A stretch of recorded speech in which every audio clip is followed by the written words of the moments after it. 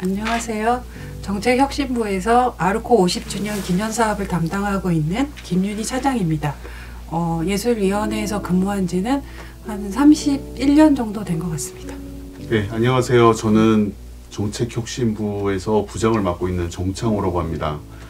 어, 저희 부서에서 올해 50주년 관련돼서 여러 가지 행사나 기념 사업을 담당하게 되었고 되게 뜻깊게 생각하고 있습니다.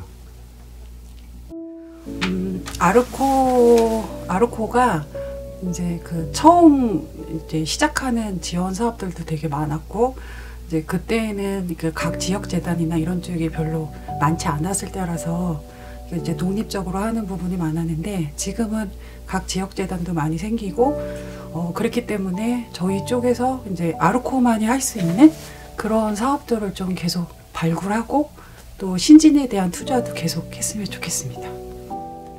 저희 위원회가 이제 50살이 됐는데 어, 사실은 보면은 이제 위원회 전환으로 치면은 2000년대 이후죠. 2005년도에 이제 위원회로 전환이 됐기 때문에 그 정신을 되게 되살리고 잘 그걸 이어나가는 게 중요한 것 같아요. 그래서 필요한 어떤 뭐 이렇게 수혜자 개념이 아니라 같이 뭔가 우리나라의 다양한 문화 예술을 위해서 같이 만들어 나가는 어떤 협력 관계로서 이게 잘 발전이 됐으면 좋겠고 개인적으로 제가 꼭 드리고 싶었던 말씀은 저희 예술위원회에 있는 직원분들은 대다수 어, 제가 보기에는 대부분 예술을 다 사랑하셔서 저희 기관에 들어오신 분들이 많거든요. 그래서 그분들이 지금도 가장 제가 보기엔 보람을 느낄 때가 어, 현장에 필요한 사업을 만들어서 현장에 있는 예술가 분들이 되게 고마워하고 되게 흡족할 때인 것 같아요. 그래서 그런 부분을 더 많이 만들어 나가는 게 되게 큰 과제인 것 같고 그런 속에서 보람을 느끼니까 이제 예술가 분들도 다소 저희 위원회가 미진한 부분이 있더라도